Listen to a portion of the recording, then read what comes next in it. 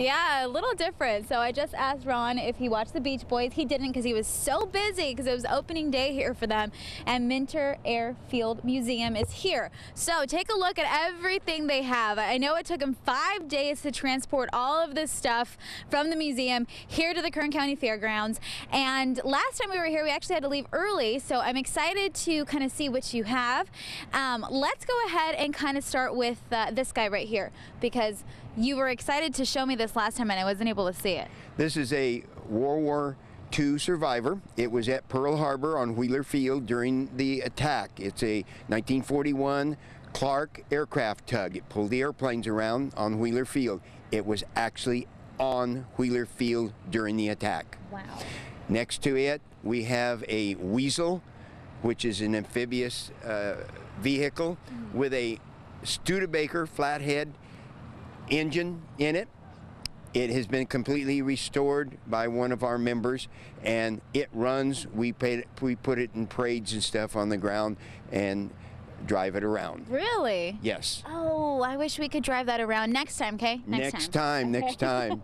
So next up, what about this guy? Because I know our cameraman was excited to uh, show me the size of those bullets. Yeah, that is a, a Humvee that uh, with a turret gun on it, 50 caliber, and one of our friends donated it or loaned it to us to show everybody what it looks like. And those, uh, that on top of it, those are the uh, the Those are the shells that that uses.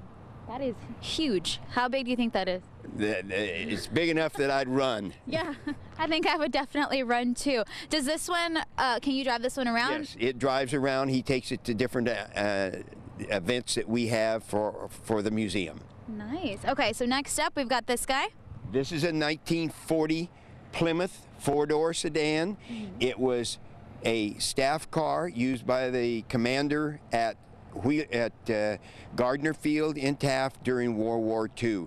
Completely restored, flathead, original engine and everything. The upholstery is all done uh, like it was during the war, and we drive this around. Which one is your favorite one to drive around? Just, just curious. Well, the yellow Jeep is fun. Uh, they're all fun. They're all uh, fun. They just just come out to Minter Field and enjoy the equipment and the and the uh, uh, back in time that you can go and drive some of these pieces of equipment. Let's go show off your yellow one really quickly. I know we showed this earlier, but if you're just tuning in, this is apparently Ron's favorite one to drive around. We have our yellow Jeep. Yeah, our yellow Jeep is completely restored Jeep. Uh, we use it at different parades and things. We even uh, put the helicopter on a trailer and pull it around the racetrack at the NASCAR at the Kern County Raceway Park. And we raffle off tickets so that you can actually ride in the Jeep or the helicopter around the racetrack while they're singing the national anthem. Nice. Okay, so opening day was great for you. I have a feeling it's going to be great the entire time you're here. This is a really cool and very different thing. So you should come say hello. It's the first year you're here at the Kern County Fair.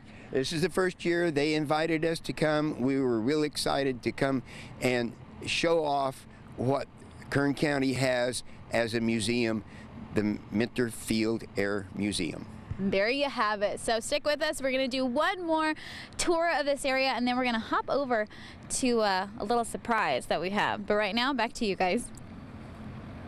All right, Kalyna, thank you very much. Look forward to seeing some of that stuff when the sun comes up. But uh, thanks for being out there. It looks uh, pretty cool to Oh, see it that old stuff. You know, the old planes and the old tanks and all that stuff. Yes, a little piece of history. Now, before I forget, Kern County Fair opened yesterday and they have a lot of stuff. So when you come here, this is the first time Minter Airfield Museum will be on hand at the Kern County Fair. You'll see a little Ferris wheel. And yesterday we did duck races, we did uh, funnel cake. So of course, you know, I want to throw out some history for you. So Ron, Ron's a busy man. He has 13 grandkids, three kids of his own. He's in charge of this entire thing. Took him five days to get all of this stuff here. There's like 15 pieces here, along with uh, the flags and then some other memorabilia, I would say. So tell me what I'm standing in right now. And this is not a part of the I'm getting special treatment this morning. This is not a part of what you're going to let people actually get inside and kind of ride around in. That is correct. This is a, replica of a World War I Red Baron uh, Fokker DR1.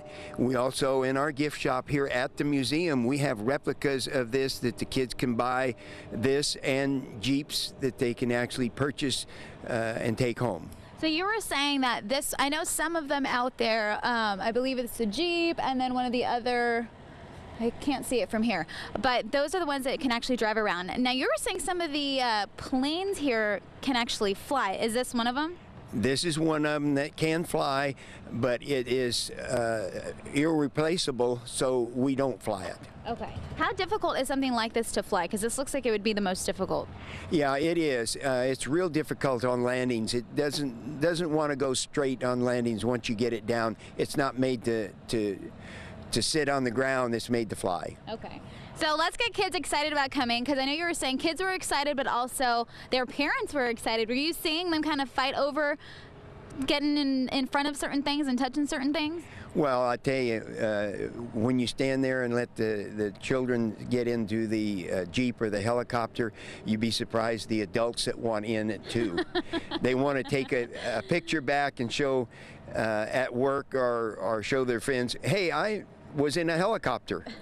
they want bragging rights, huh? You're the one to give it to them. I give them the bragging rights. They can they can say that they've been into a Loach helicopter, a Vietnam era helicopter. And you're here every day of the fair. So what time to what time? And if people want to come meet you and get more information on Minter Airfield, you'll be here. We'll be here every open hour of the day that the fair is open.